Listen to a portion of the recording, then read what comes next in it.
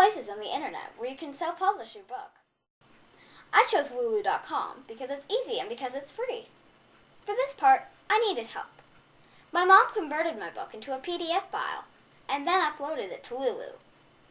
Then we could order books and Lulu would print them for us. Now, anyone can buy my books. But how do people find out about it? In 2011, I presented my books at a fair called Marketplace for Kids. Showcase in North Dakota for kids from 3rd grade through 6th grade who have invented or made things. Even though Marketplace for Kids is only in North Dakota, there are festivals like this all over the country. Lots of people came by my booth and liked what I was doing. I told them about my website, www.evaridenhour.com.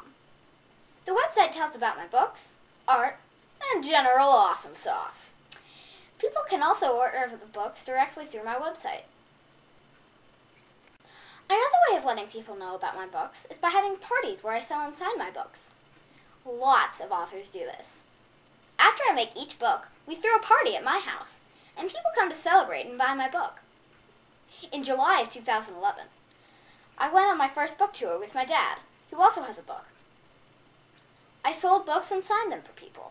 I did really well, and people really liked them. Altogether, I've sold over 100 books. I hope that you love writing stories as much as I do. I know you've got amazing stories to tell, and now you just have to tell them. If you have any questions, or just want to talk about books, you can email me through my website. Good luck!